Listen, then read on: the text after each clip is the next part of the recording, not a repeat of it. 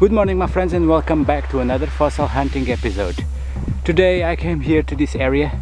I didn't know that this was here uh, and uh, I thought that it might it might be worth take a look because they are doing some sort of separation of materials. They are uh, they are separating rocks from from sand and uh, they are putting it in the road over here. So maybe maybe there is some fossils already separated for me to pick up. Hey, let's see.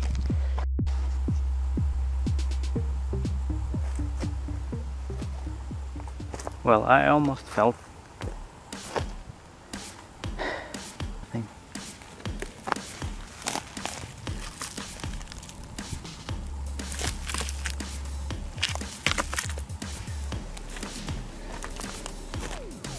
What is that?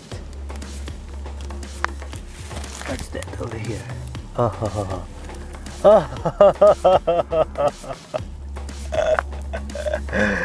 Take a look at this one. Yeah.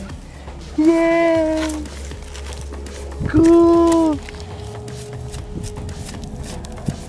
Yes. Spectacular. Take a look. it's perfect. Yeah. Yeah.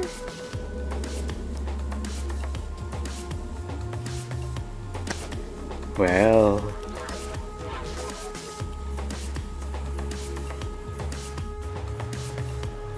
Here it is guys. I have cleaned it the best I can and here it is. Another specimen to my collection. This one the don't have any remains of the shell only the shape but it's pretty cool pretty awesome. This is going right here. I created the space over here for this one. I believe this one is the same species of that other one over there. But this one still has the remains of the shell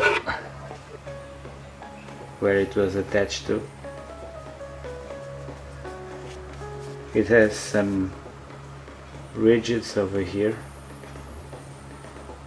I believe this specimen is Harpagodes incertus. Quite similar.